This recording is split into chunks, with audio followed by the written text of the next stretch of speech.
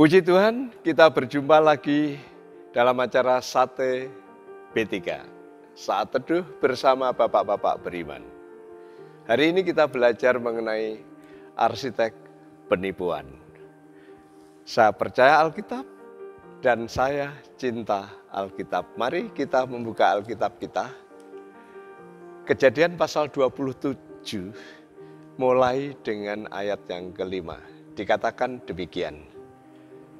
Tetapi Ribka mendengarkannya ketika Ishak berkata kepada Esau anaknya, setelah Esau pergi ke padang memburu seekor binatang untuk dibawanya kepada ayahnya, berkatalah Ribka kepada Yakub anaknya, telah kudengar ayahmu berkata kepada Esau kakakmu, Bawalah bagiku seekor binatang buruan dan olehnya bagiku makanan dan olahlah bagiku makanan yang enak supaya aku makan dan supaya aku memberkati engkau di hadapan Tuhan sebelum aku mati.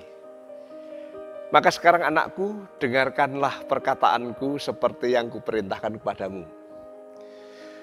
Pergilah ke tempat kambing domba kita, ambillah dari sana dua anak kambing yang baik. Maka aku akan mengolahnya menjadi makanan yang enak bagi ayahmu, seperti yang digemarinya Bawalah itu kepada ayahmu supaya dimakannya, agar dia memberkati engkau sebelum ia mati. Lalu kata Yakub kepada Ribka ibunya, tetapi esok kakakku adalah seorang yang berbulu badannya, sedangkan aku kulitku licin. Mungkin ayahku akan meraba aku, maka nanti ia akan menyangka bahwa aku mau memperolok-olokkan dia. Dengan demikian, aku akan mendapatkan kutuk atas diriku dan bukan berkat.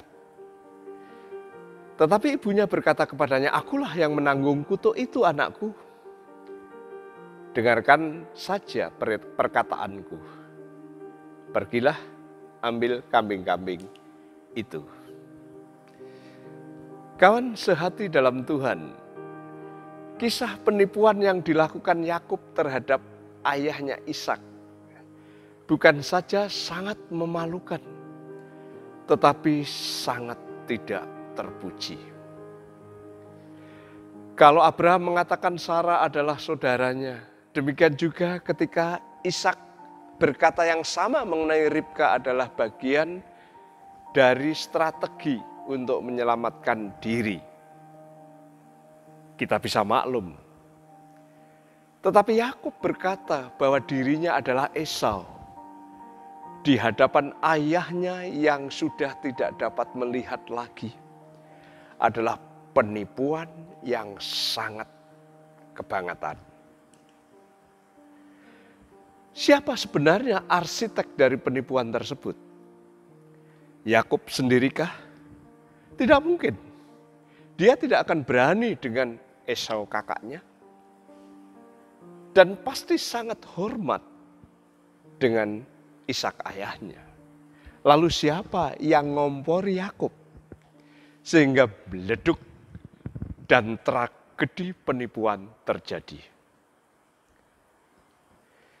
Yakub sendiri jelas tidak berani, menurutnya bukan berkat yang akan diterima tetapi kutuk kalau melakukan hal yang demikian. Tetapi Ribka ibunya lah yang menjadi inisiator tipuan tersebut. Dia yang memprovokasi Yakub untuk berani dan dengan berkata saya yang bertanggung jawab menanggung akibatnya Yakub. Perhatikan ayat 12-13. Mungkin ayahku akan ber, meraba aku, maka nanti ia akan menyangka bahwa aku mengolok-olok dia. Dengan demikian aku akan mendatangkan kutuk atas diriku dan bukan berkat. Lihat di sini, tetapi ibunya berkata kepadanya, akulah yang menanggung kutuk itu anakku. Dengarkan saja perkataanku, pergilah, ambil kambing-kambing itu. Kawan sehati dalam Tuhan, Yakub memang berhasil memperoleh berkat kesulungan. Tetapi gara-gara penipuan ini, keluarga Bapak Ishak terobek-robek menjadi sobekan-sobekan yang terpisah satu dengan yang lainnya. Bapak Ishak terluka. Esau diliputi dendam dan kemarahan yang besar kepada Yakub. Ribka harus tinggal sendirian dan berpisah dengan anak yang terkasih. Sementara Yakub sendiri harus lari menyelamatkan diri, berpisah dengan semua anggota keluarganya.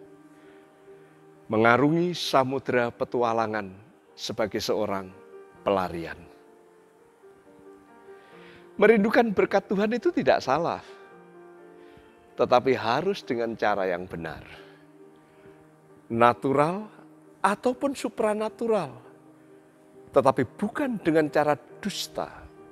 Karena bapak pendusta adalah setan. Dan kita bukan anak-anak setan. Tujuan tidak boleh menghalalkan cara. Tujuan yang baik harus diupayakan dengan cara yang baik pula. Sebagai seorang gembala sidang, Mulia jika kita merindukan gereja yang kita layani ribuan anggota. Tetapi menjadi tidak mulia jika cara memperoleh jiwa itu dengan cara yang tidak baik. Main serobot anggota jemaat lain, main kayu atau bujuk rayu, tanpa malu berkata jemaat saya ribuan. Padahal cara yang digunakan adalah cara preman. Kalau Anda percaya Alkitab, rayalah berkat Tuhan, itu tidak salah. Tetapi jangan abaikan perkenanannya. Jalanilah hidup ini dalam pelukan kasihnya. Teruslah ada di dalam hadiratnya. Niscaya, tak perlu jempalian dalam memperoleh berkat Tuhan. Dia tidak pernah kekurangan jalan untuk memberkati Anda dan saya. Kita berdoa.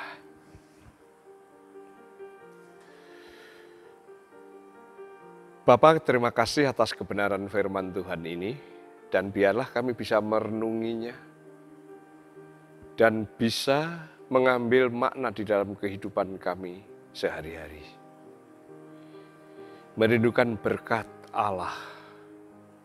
Kesuksesan hidup di dalam mengikuti Engkau adalah sesuatu yang indah dan mulia.